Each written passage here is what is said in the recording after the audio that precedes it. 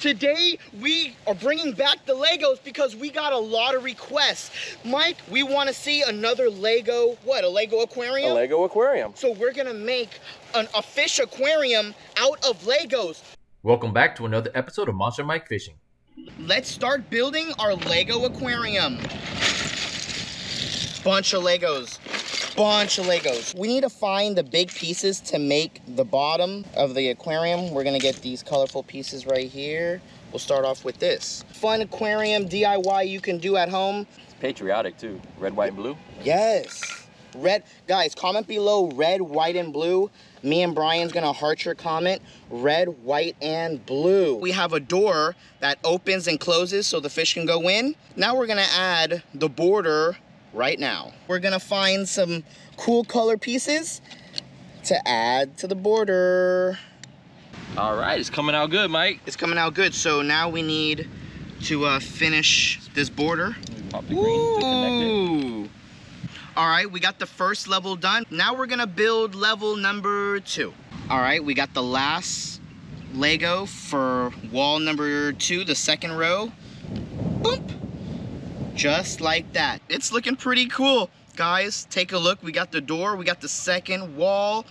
I can't wait. Fun DIY Lego aquarium. We're gonna add some trees and maybe a, even like, you know, let's see what we can find. Ooh, look guys, a tree. So we have a Lego tree.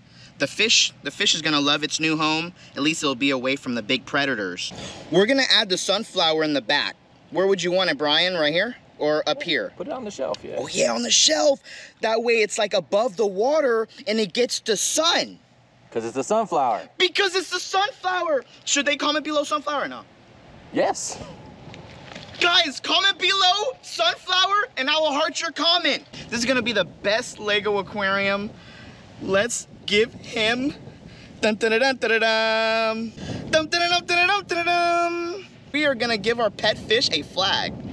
All right, guys, now it's time to catch a pet fish for the Lego aquarium. This is really simple. Anyone can do this. All we're gonna do is tie this fishing line to our finger, get a hook, and catch a fish. All right, so you got that line tied to your finger. My finger's turning purple, but I think um I think I think it's good. I'm gonna cut the tag end off, connect the hook. I'm gonna add it like this long. I'm gonna make so that way you know, like Monster Mike, how long should I have it?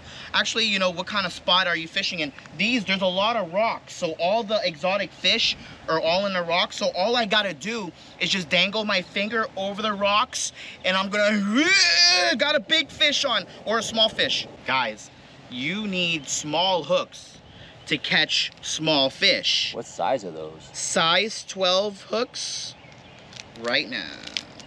If you're fishing down here in Miami, this bread, I know you can't see it that good, but this bread is called Wonder Bread. It does wonders. That one's been in the truck for about three months. Yeah, let me see.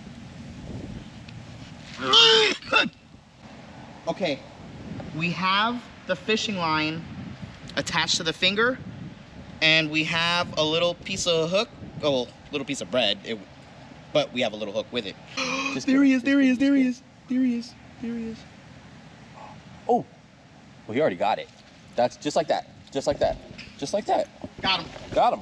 We got our pet fish. we got a pet fish oh my gosh and guys they sell these in the pet stores no no no take a look at this one this Oh. is like my yeah this is like my personal best Ooh, that is a pretty fish, man. Pretty you see those fish. blue dots? look he got a lot of blue dots guys we got a pet fish maybe they should help us name it all right guys so this is the moment of truth we got the water in the lego aquarium and we got our pet fish i just don't know if he's gonna fit yet because he's a little big but he might be able to swim around